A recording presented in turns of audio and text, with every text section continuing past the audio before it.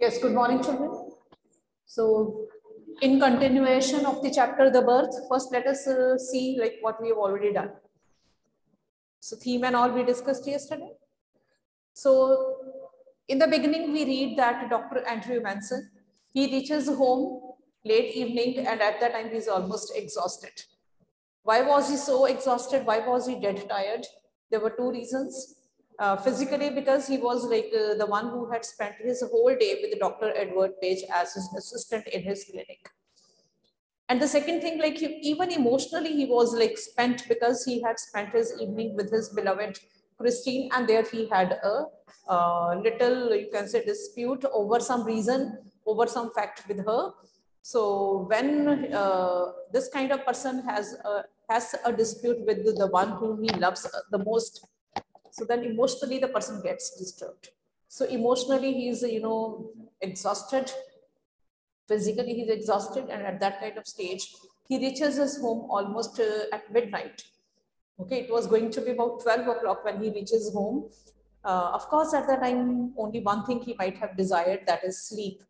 So he, when he reaches home, uh, he didn't even have uh, opened up the gate of his room, uh, of his house, when he found Joe Morgan waiting for him at the gate. So Joe Morgan told him that his wife is expecting and uh, they were expecting a child after 20 years of their marriage. So the child was very important. And secondly, it was a pre it was going to be a premature delivery. So Joe Morgan told this doctor, like his wife only uh, has faith upon this Dr. Andrew Manson. So Suzanne Morgan only wanted that Andrew Manson should take this case. And moreover, Joe Morgan also had full faith upon this very doctor only. And he told him to come to come to his house. So Joe, Andrew Manson could not say no because as a doctor also whenever you get a call like this, you cannot uh, uh, say no. So he also gets ready and starts walking, starts going towards his house. So when he reaches home, Joe Morgan stops on the way. He doesn't enter the house and he tells, he reposes his full faith upon this doctor and tells him that he was sure that uh, Dr. Andrew Manson would do his best. So Dr. Andrew Manson goes inside and he observes and he uh, examines the patient, that is Suzanne Morgan, who was expecting a child. And uh, he was able to make out like uh, the case was critical.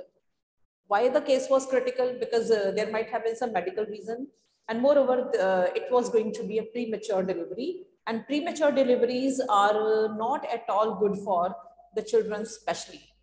Okay. And in this case, we will read that uh, after the delivery would take place and then mother also even her condition would become a little critical. So it will be like uh, Dr. Andrew Manson's um, willpower or his, you can say, knowledge, or it, it would be his determination which would help him save uh, both mother and child. So when he finds that uh, Suzanne Morgan, uh, you know, her condition was not very fine, and moreover, there was still some time for the delivery to take place. Uh, he wanted, uh, he felt like as if he might go home, but that is not clear. But uh, Suzanne Morgan's mother, you know, she was there and midwife was also there. So Suzanne Morgan's mother felt that Andrew Manson should not go home uh, because it's like, uh, it's very natural that the patient's relatives, they are more concerned about the well-being of the patient. So her concern was that Dr. Andrew Manson should not go home and should stay there only uh, so that whenever the doctor would be required, he should be there. So Dr. Andrew Manson, when he was offered a cup of tea by a mother, he assured her that he would not run away. So at that time, uh, he was having a cup of tea and uh, then he was, you know, uh, again, he went to see the mother, expecting mother and found that still there was some time for the delivery to take place. Then he was sitting the fire, by fireside in the kitchen and there, uh, uh, otherwise it was pin drop silence. Only uh, three sounds were audible. One was the sound of the fire. Another one was the sound of the tick tock of the clock. And third sound was of the footsteps of Joe Morgan. Okay, Joe Morgan's footsteps, the, uh, the sound of these footsteps of Joe Morgan also indicate like how tensed he was, like how important it was for him that the child uh, should be born uh, fine and even the mother should stay safe. So the doctor was able to make out all these things and uh, he was sitting by the fireside. Meanwhile, the, there was some time for the delivery to take place, right? So then the time came when the delivery had to take place. It was almost morning when the child was born.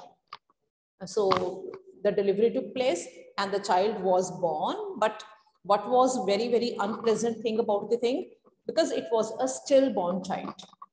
So this much we had read that it was a stillborn child. So from here we'll be continuing now.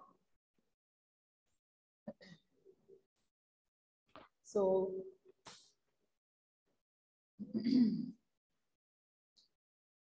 so here let's start from page number 67 now. So the, though we had read this paragraph also we are going to repeat it. An hour elapsed. It was a long harsh struggle then as the first streaks of dawn sprayed past the broken edges of the blind, the child was born lifeless. So with the break of the day, the child was born, but it was lifeless. As he gazed at the still form, a shiver of horror passed over Andrew. After all that he had promised, after all uh, that he had promised, his face heated with his own exertions, chilled suddenly. He hesitated, torn between his desire to attempt to resuscitate the child and his obligation towards the mother who was herself in a desperate state. So when he saw the stillborn child, he could not uh, believe it because it was not that he had promised to the family. So then he was like torn between his desire. Then he was like in a dilemma, like whether he should revive the child or should he attend the mother who was in a desperate state, whose condition was very critical. So he was in a moral dilemma as to whether he should attend the uh, mother, the one whose condition had become quite critical, or should he try to revive the child who was almost dead as a doctor, what would you decide for? If you have to save uh, between mother and a newborn child who is almost dead, what will you do first? Yes. What will you say, children? What will you do? Navkirat Singh. Shreya, give the answer.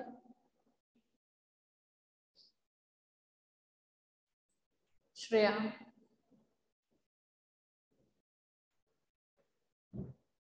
If you don't know the answer, if you did not listen to the question, never mind. At least you know. Yes, Himanshu says like we'll save the mother first. That's correct, Himanshu. Correct answer. So Himanshu, very well done because uh, you are not only attentive, you are sincere also. Okay, so the point is, Shreya, please be attentive now. All of you, so he had been, he was like uh, in a dilemma whether he should save the mother or the child.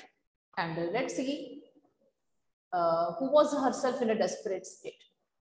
The dilemma was so urgent, he did not solve it consciously. So this kind of moral uh, conflict, it was, uh, you know, so urgent that he did not have to think about it. It was a, it, uh, the decision which he took, it, it, it came out, you know, it it was taken, uh, you can say, in, uh, without even uh, actually thinking, blindly, instinctively, he gave the child to the nurse and turned his attention to Suzanne Morgan, who now lay collapsed, almost pulseless and not yet out of the ether. Ether is the uh, anesthesia only, upon her side. So very uh, instinctively or very naturally, he handed over that stillborn child to the nurse and he turned, gave all attention to the mother whose pulse was falling second after second. Okay.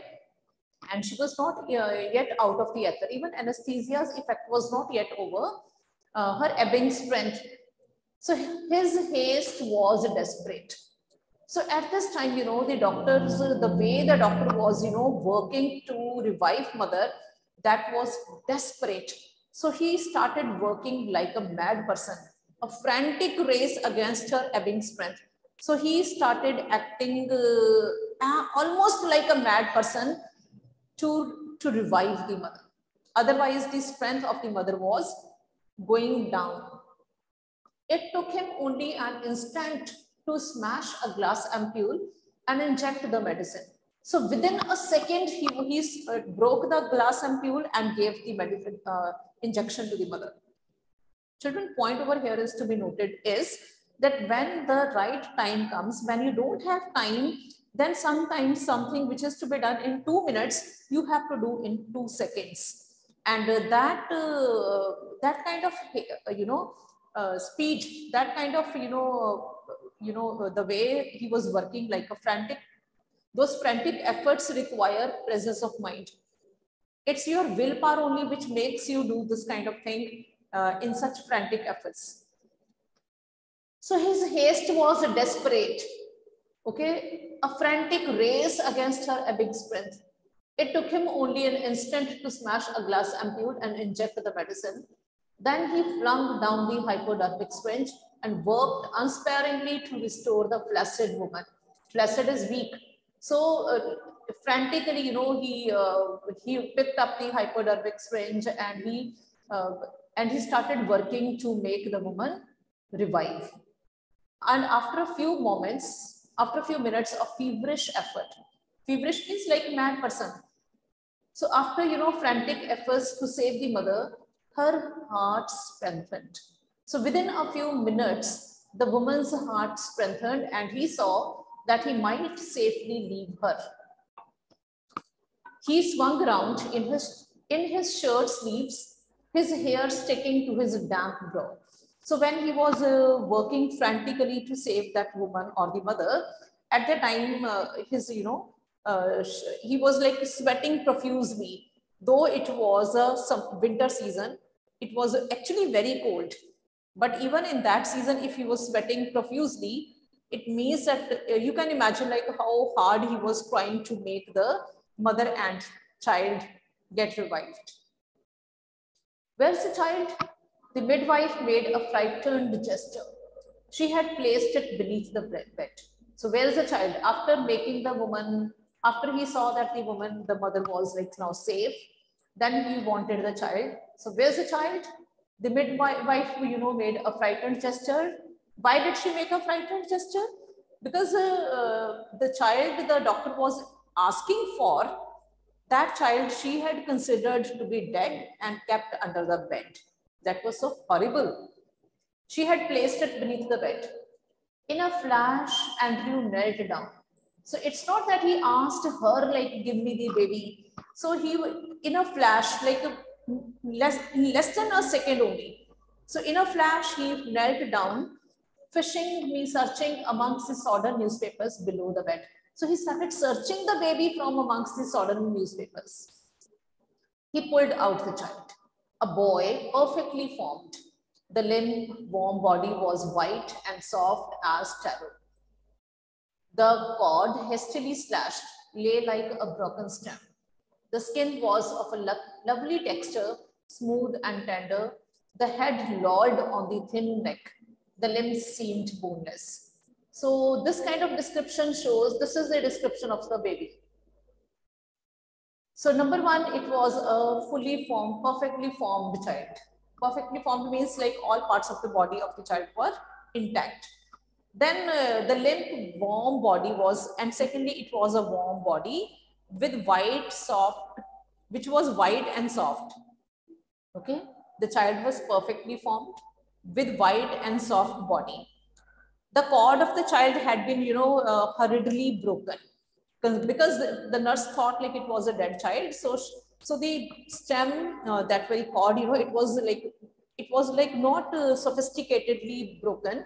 It was hastily slashed and it lay like a broken stem. The skin was of a lovely texture, smooth and tender. So the skin of the child was of lovely texture and it was very smooth and soft. The head lolled on the thin neck. So the head lolled means the head, you know, it fell upon one side. The head was falling on one side of the uh, neck, you know. Uh, why was the head lolling to one side? Because it was a dead. It was not, uh, it was not uh, alive. It was not a, a live child. It was a stillborn child. And the limbs also seemed boneless. Still kneeling. Why was he kneeling? Because he had made his effort to, he, had knelt to uh, take the child out. And when he picked up the child, he was still kneeling. He forgot to get up even. He was so engrossed. Andrew stared at the child with a haggard frown. The whiteness meant only one thing, asphyxia pallida. And his mind, unnaturally tense, raced back to a case he once had seen in the Samaritan to the treatment that had been used. Instantly, he was on his feet. So he, even forgot to get up when he uh, had held the baby in his hand. And the kind of condition the child had, the kind, the way the uh, skin of the child had become white, that meant one thing that the child had undergone lack of oxygen and the carbon dioxide had got, uh, you know, enthused into his uh, uh, lungs. So the child had inhaled carbon dioxide in excess and he was suffocated. So that's why the child got uh, suffocated and was stillborn, you can say. So he was able to make out the reason like why is the child stillborn?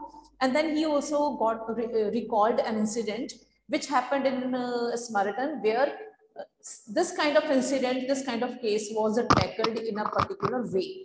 So he remembered that uh, treatment.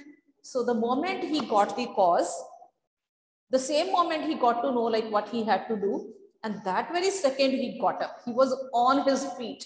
So here on his feet means that he was set on action. Get me hot water and cold water. He threw out to the nurse and uh, basins too, quick, quick. So he ordered the nurse like he wanted hot, cold water and secondly he wanted the basins too. But doctor, she faltered her eyes on the pallid body of the child. But the nurse, because nurse thought, nurse was 100% sure that it was a dead child and uh, it is against moral ethics. It is against, uh, you know, uh, ethics that you tamper with the dead body of somebody, maybe the child. So the nurse, you know, she uh, pleaded that it was a dead child, so it should not be tampered. So quick, he shouted. So he didn't want to listen to any other thing. He just ordered her like, be quick. Snatching a blanket, he laid the child upon it and began the special method of respiration. So what first thing he did? First of all, he uh, made, the, made the child lie upon the blanket and gave it respiration with a special method. The basins arrived, the ewe, the big iron kettle. So these things all came. Frantically, the, frantically he splashed cold water into one basin into the other, he mixed water as hot as his hand could bear. So he put water in two vessels. One was cold water and the other was just lukewarm water. Then like some crazy juggler, juggler you must be knowing that magician, the one who plays uh, tricks like uh, thereby uh, popping up the ball in one hand to another. So then like just like a crazy juggler, he hurried the child between the two, now plunging uh, it into the icy and then plunging it into the steaming bath. So what he did, he started dipping the child alternately, first in uh, cold water, then in hot water, cold water, hot water. So he did this action like a crazy juggler, like very fast. 15 minutes passed. So you can imagine putting the baby first in cold water, then in hot water. So this he did continuously for 15 minutes. Sweat was now running into Andrew's eyes. So he was uh, like his forehead was already sweating and now that sweat started going into his eyes also blinding him. One of his sleeves hung down dripping. So even one of his sleeves, the sleeves of the shirt also started dripping with water. So his breath came pantingly. What is pantingly? Very fast. He was breathing very fast because he was like exerting himself. Physically, his exertion was too much that made him breathe fast. So he was breathing fast, but no breath came from the lax body of the child. But the irony was that the child from whom he was, uh, the, the child whom he wanted to breathe was not at all breathing. A desperate sense of defeat pressed on him. So he started feeling that uh, there is no result of his efforts, a raging hopelessness. He started getting hopeless also. He felt the midwife watching him in a stark consternation while there pressed back against the wall where she had all the time remained, her hand pressed to her throat, uttering no sound, her eyes burning upon him, was an old woman. So see now, number one, he is doing his best. At the same time, he had two other pressures. One was the pressure of that midwife, the one who did not want him to do what he was doing. He, she already told him that it was a stillborn child and should not tamper with the dead body. Right? So she, though she wanted to shriek, she wanted to cry, but she had covered her mouth with her hands so that she would not utter a single word. Otherwise, she was like, uh, she was feeling uh, terrific at what the doctor was doing. The midwife could not tolerate what the doctor was doing. So one was, uh, one pressure upon the doctor was that the midwife who didn't want him to do what he was doing. And then his efforts were not giving any result. And third, what was the another pressure? Another pressure was of the mother of Suzanne Morgan, that is, the, uh, that is Joe Morgan's uh, mother-in-law. So there was a pressure of that uh, woman also, the one who had great expectations from this doctor. See the now, what is more important for the doctor? For a doctor, it's not his self-esteem which is more important. For a doctor, it is also very important, like uh, how well he does as a doctor, because he, so many people have faith upon him. So he remembered her longing for a grandchild. He remembered that this woman wanted a grand, grandchild very badly, as great as had been her daughter's longing for the child. All dashed away now, futile, beyond remedy. So he remembered that the whole family wanted the child very badly. Even uh, Suzanne Morgan wanted the child. Even this grandmother wants a child. And now he thought like all hopes, all desires, all hopes are dashed away now. Means all the hopes have been dashed to ground. Means they have all been wasted. So the floor was now a draggled mess. So on the floor there was, it was all messy now in the beginning, we read out that it was a poorly furnished but a very clean room. But now that very room had become very untidy. Stumbling over a sopping towel, Andrew almost dropped the child, which was now wet and slippery in his hands like a strange white fish. So what was slippery in his hands? The child was slippery in his hands like a strange white fish. Andrew did not heed her for mercy's sake, doctor, whimpered the midwife, it's stillborn. So the nurse again, the midwife again reminded him that, doctor, please stop doing whatever you're doing because it's a stillborn child. Andrew did not heed her. So, don't, so that is also what we can learn from this lesson. Like, let's not get pressurized with the negative people around us. Let us do just what we have to do. Okay, what our duties? Let us be positive in our approach and let's not give uh, any heed to the people, those who are spreading negativity around us. So he did not heed her. Beaten means defeated, despairing, dis, uh, beaten, disappearing, having labored in vain for half an hour. This, he still persisted in one last effort. So half an hour had elapsed since he had been trying his level best to make the child revive. So after half an hour, he felt like giving one more effort, last effort. Rubbing the child with a rough towel, crushing and releasing the little chest with both his hands, trying to get breath into that limp body. So what did he do in the last? In the last, he tried to rub the child with a rough towel. He crushed and released the little chest with both hands. So he was trying to get breath into that limp body. And then, uh, okay, so the, this is what he was doing in the end. So what he did in the end, he was trying to get breath into that little body, thereby crushing and releasing the little chest with his both hands. So then afterwards, what do you think? What will happen? That we'll reach tomorrow, okay? Or on Monday. On Monday, we'll read the last page and its question answers. Got it? Meanwhile, you people read this lesson again and let me check the attendance also.